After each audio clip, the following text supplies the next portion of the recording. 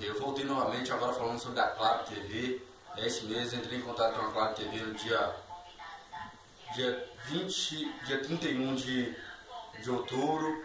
E eles passaram para mim que a partir do dia 1 de novembro eles parariam de comercializar a Claro TV Livre e passaria para o modo pré-pago como a Sky adquiriu. É isso mesmo, a Claro TV Livre não existe mais a partir do dia 1 de novembro, passando a ser Claro pré-pago. É isso mesmo, né?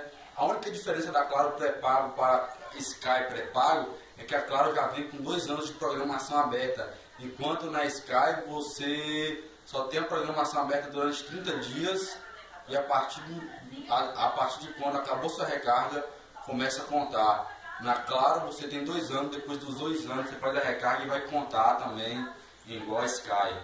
É, não houve vantagem, apenas acabou o direito do consumidor no Brasil. Infelizmente o sistema por assinatura tem feito isso, né?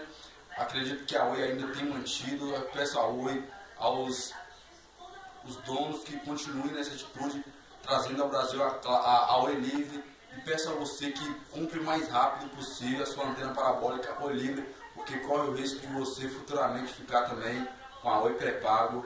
E a pré-pago, infelizmente, não é um benefício para povo brasileiro, pois às vezes você não quer fazer recarga só para ter.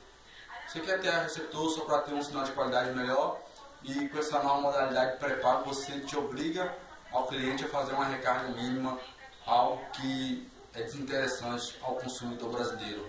Peço a você que se inscreva no canal, compartilhe o nosso vídeo é, é, e, curta, e, curta, curta o nosso vídeo.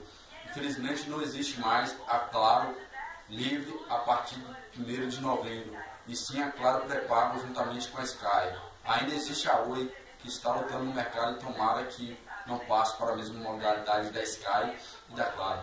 Curta as páginas, se inscreva aí, aquele joinha, muito obrigado por aí embaixo.